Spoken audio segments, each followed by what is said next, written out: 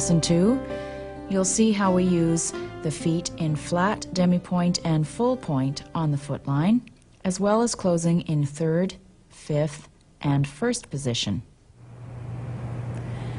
We've placed our positions now with flat feet, and we can place the arms just about anywhere. You should be able to recognize that.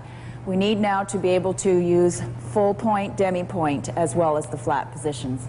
So let's go back to our basic first position. You'll notice that I'm placing it below the foot line or the floor line. Now I'm going to go on to demi point, so I can show that very easily by placing the first position directly on the line. Sometimes it's a little bit difficult to see when I use chalk on this white line, but notation paper is often done in red so that you can see the black line over top of the red. If I want to go on to full point, I'll just place it on top of the line, but still contacting. And in that way, I can show whether the feet are flat, on demi-point, or full point. The same is true for fifth position, which I'll show with the right foot behind, and if I want to place it flat, it will go beneath the line but touching, or on top of the line, or sitting on the line. So now I've shown fifth position with the left foot behind, flat feet, on demi-point, and on full point. That now allows me to show things like battement tendu. So I'll use again the right foot and my left foot will be underneath me and my right foot will be in front, sitting on the line. And that means that I'm in a point tendu devant. If I want to point to the side with my right foot, I will use a level sign, contact the line at the side. And behind, I've got my behind sign sitting on the line. You'll also notice that the relationship of the sign to the center line will help you to place it. Let's go back to the idea that we had at the beginning of, of lights on our hands and our feet. So if I stand in first position and I point my right foot to the front, then from behind my light is close to the center line of my body and that helps me to place it. So immediately then you can see how I can use these same signs for en l'air positions. I'll move over to this bar and again I'm keeping the left foot on the floor but now I'm going to place the right foot halfway between the knee line and the foot line. Or I can go higher still and place it just below the waistline, which was what we would use for 90 degrees. I can do the same thing to the side or to the back. So let me show this position.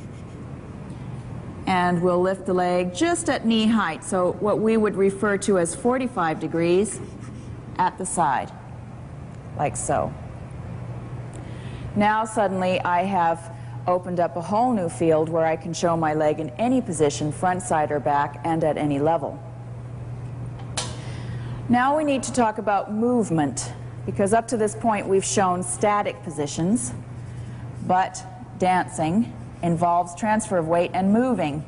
So now I'd like to show how we're going to write closing positions. And I'm going to start with fifth position with the right foot behind. In order to show that the position has moved from an open position to a close in fifth, let's just say that I'm in a point tendu to second with my right foot, and I want to show that it's closing behind, I'm going to place an open circle at the back. And in that way, I've shown that my feet have gone from second position to a closing behind. As soon as you see this open line, you know that some movement has taken place.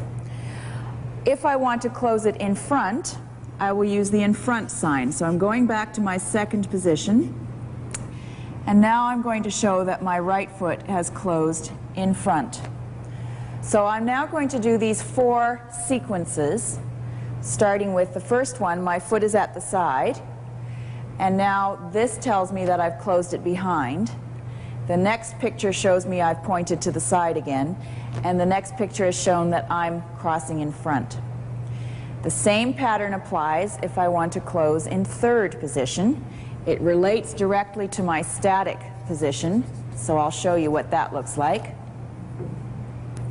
Here is my static third, like so. And now, if I want to close in third at the back, it relates directly, but I use an open circle. And you can see that I've got a level sign with an open circle to the right side. The same is true for closing in front. This is my No, that's not correct.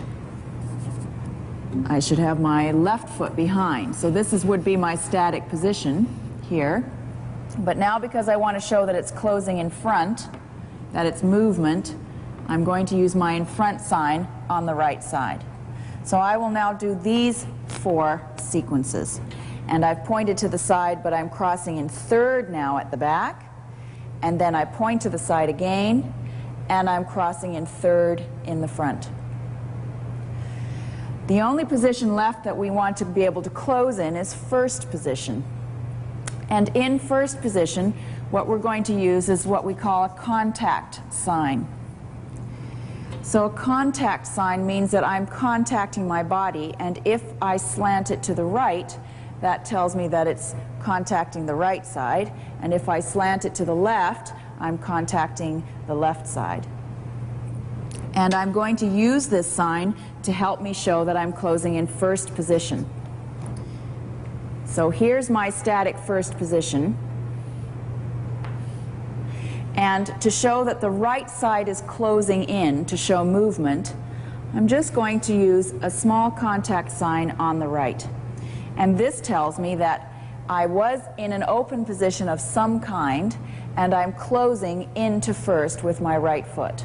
If I want the left foot to close, then I'll show the contact on the left side. So let me just review again for you the closing signs in first, in third, and in fifth. And I'm going to use the left side for each one. Here I am closing in first on the left. I'm closing in front, in third on the left. I'm closing in front in fifth on the left.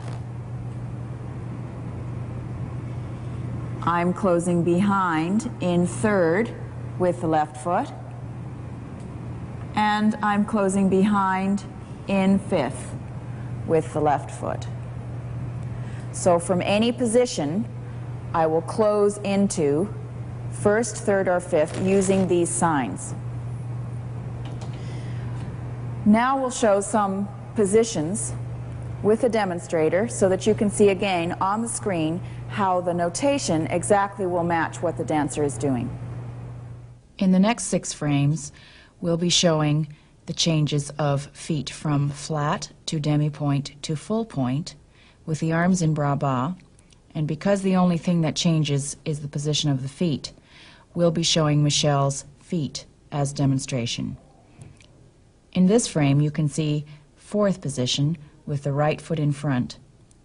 Notice that in the notation, we're using an in front sign hanging from the foot line, and on the left, a behind sign.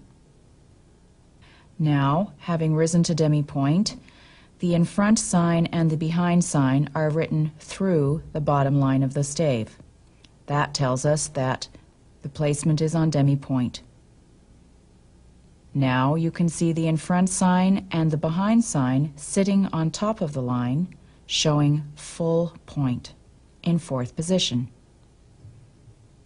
The fifth position sign is placed below and touching the foot line, showing a fifth position with flat feet. The arms are still in bras bas. Now the same sign is drawn through the foot line, showing that we're in fifth position on demi-point. Notice that the right foot is in front and the left foot is behind. By placing the same sign sitting on top of the foot line, we have showed fifth position on full point. Now Michelle will demonstrate a position from dégagé devant, closing in third position using the right foot. The arms are in second and have not been notated in the second frame because they haven't changed. Here, from the same position, Michelle will now close in fifth position with the right foot. Using the right foot at the back in full point tendu, Michelle will close behind in third position. Now, from an extended position at the back, à terre, Michelle will close in fifth position at the back. With the arms in second and the right foot extended to the side and fully pointed, Michelle will close the right foot in first position. Notice we are using the contact sign on the right to show that the feet have closed in first.